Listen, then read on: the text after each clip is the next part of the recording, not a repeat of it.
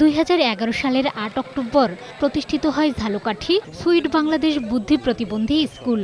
শহরের কোট রোডে জেলা প্রশাসনের দেয়া তিন হাজার তিনশো বর্গফুট জায়গায় গড়ে তোলা হয় স্কুলটি। দুই হাজার পনেরো সালের তেইশে নভেম্বর স্কুলটি স্বীকৃতি পায়।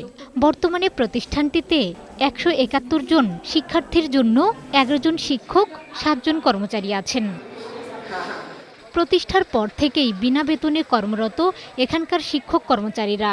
বুদ্ধি প্রতিবন্ধীদের জন্য এই স্কুল প্রতিষ্ঠার দশ বছর আর স্বীকৃতি লাভের পাঁচ বছর পেরিয়ে গেলেও এখনও এমপিওভুক্ত হয়নি স্কুলটি। আজ পর্যন্ত আমরা কোনো শিক্ষক কর্মচারী বেতন ভাতা পাচ্ছি না তাই শিক্ষক কর্মচারী মানবতার জীবনযাপন করছে। আমরা চাই আমাদের স্কুলটা অতি তাড়াতাড়ি আমাদের এমপিভুক্ত করা হোক। আমরা কোনো বেতন পাই না আমাদের অনেক কষ্ট হয়। শিক্ষক এবং যারা কর্মচারী আছে তাদের সন্তানের আর্থিক সহায়তা প্রদান করলে আমাদের যে যারা সন্তান লেখাপড়া করা তারা আরও সুন্দরভাবে লেখাপড়া করতে পারবে। আমরা বেতনটা যদি পাইতো তাহলে অনেক আমরাও আগাই আসতে পারতাম বাচ্চাকে নিয়ে।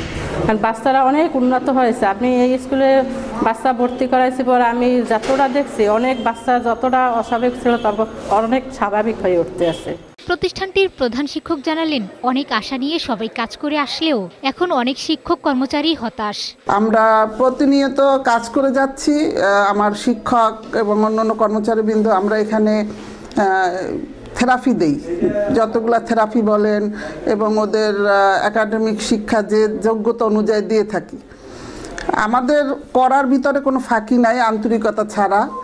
এখন আমার স্কুলের শিক্ষকরা তো আমার মুখোমুখি হয়ে থাকে কারণ ওরা আমার হাত ধরে কাজ করে।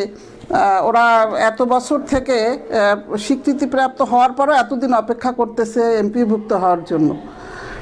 এখানে প্রতিনিয়ত কাজ হয় এবং শুধু কাজ না, বাচ্চাদের আর্থিকভাবেও যখন যার সমস্যা হয় আমরা চেষ্টা করি এখান, সেখান থেকে সংগ্রহ সংগ্রহ করে ওদেরকে দেওয়ার জন্য। তা আমার প্রধানমন্ত্রীর কাছে আকুল আবেদন।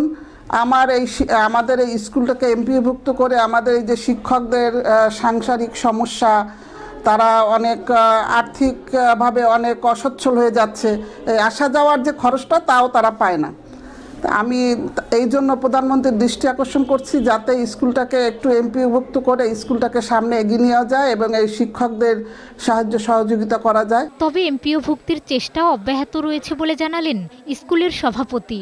আমাদের এখানের অবকাঠামোর উন্নত উন্নয়ন হবে এবং আমাদের স্কুলের শিক্ষক শিক্ষকদের বেতনের যে অধ্যায়টি বাকি আছে ফাইন্যান্সিয়াল অনুমোদন যে বাকি আছে এটিও অচিরেই সম্পন্ন হবে। এসব শিক্ষা প্রতিষ্ঠান প্রতিবন্ধীদের মূল জনগোষ্ঠীতে পুনর্বাসনে সহায়ক ভূমিকা রাখবে বলেও মনে করেন তিনি।